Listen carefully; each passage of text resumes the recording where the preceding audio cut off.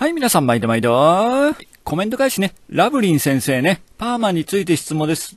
女子大生です。私の通っている美容室では、50代の方が担当してくれて、うちの店か？サム先生んちか？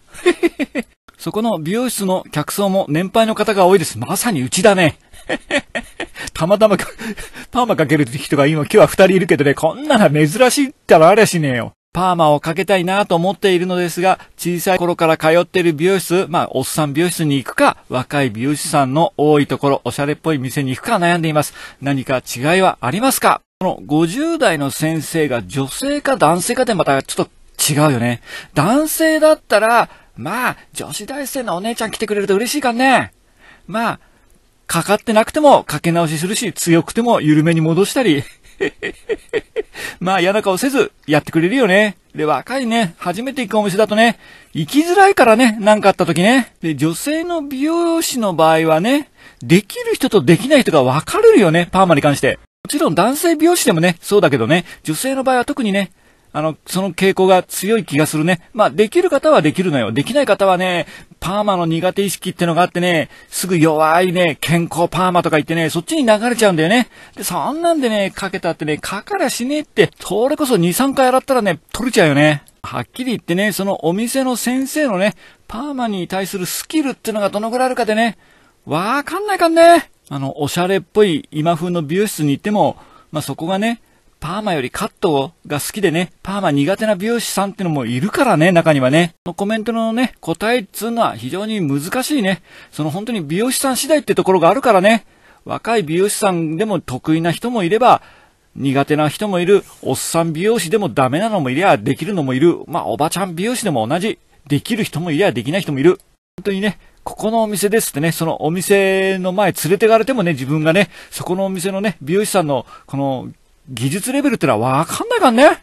で、ラブリン先生の髪質だけど、ちょっと見て、見て、触ってみないとわかんないけどね、コテで巻いて焼けてたり、まあそのぐらいかな、痛みっつったらね。それなら、まあパーマだいたい95点ぐらいにかかるかな。で、ヘアカラーしただけでも75点ぐらいの仕上がりにしかなんないから。それも自宅ヘアカラーで染めすぎた場合なんかもう0点、0点以下になっちゃうから。かける以前の痛みっていうのもあるんだよね。で、宿毛矯正をかけてたらね、まあこれもね、まあサム先生も言ってたけどね、ろくなパーマにならない。確かにね、点数で言ったらもう30点ぐらいにしかなんない。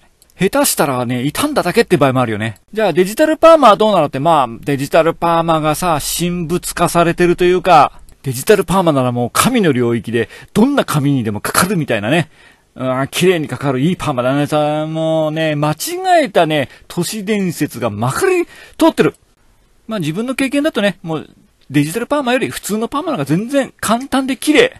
デジタルパーマね、一人だけいるけどね、もう超緩めの人だけ。細かいかかり具合に関してはね、コントロール不能。まあ一時ね、デジタルパーマ流行ってからね、まあ散々かけたけどね、本当に緩くにしかかかんない、緩くかけるのが得意なパーマかな。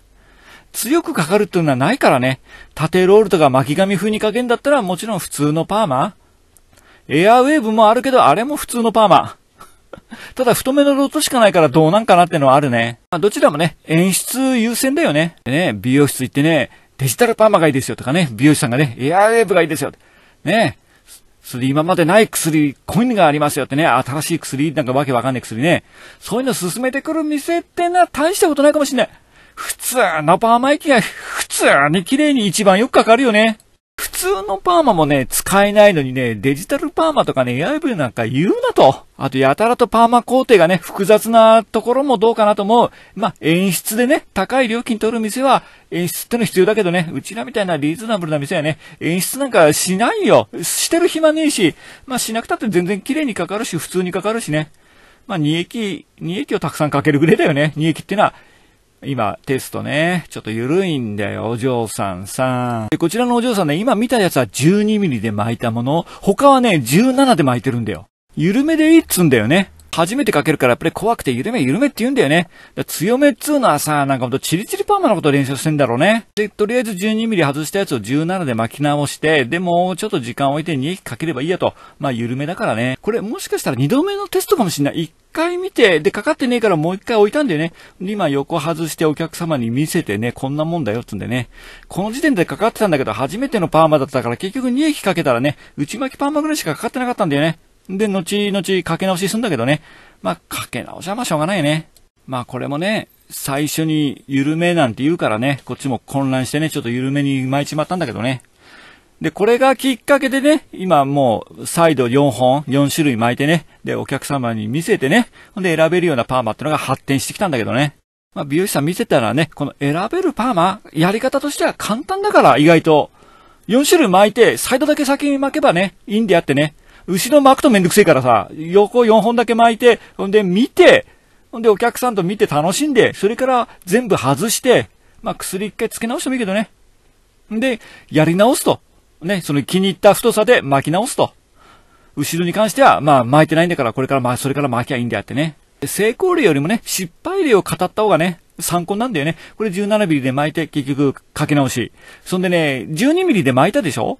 あれをね、何分置いたんかな？付け巻きで何分置いたんかな？最初な。ちょっとわかんないけど、その12ミリですらね、緩かったんだよ。ああれって感じ ?32 ミリのコテで巻いたよりちょっと緩いかなっていうぐらい、ら12ミリでも太かったんだよね。こちらね、健康毛なんだよね。で、まあ固定焼けっていうかアイロン焼けはしてたけどね。いやいやいやいや、もうパーマね。もう本当にかかんねえ。でね、時間的にもう15分ぐらい置いちゃったからね、もう自動的に終わり。もうゲームオーバー。もう、これでかかってなかったらかけ直しと、もう覚悟を決めて2駅つけると。はい、お疲れ様でした。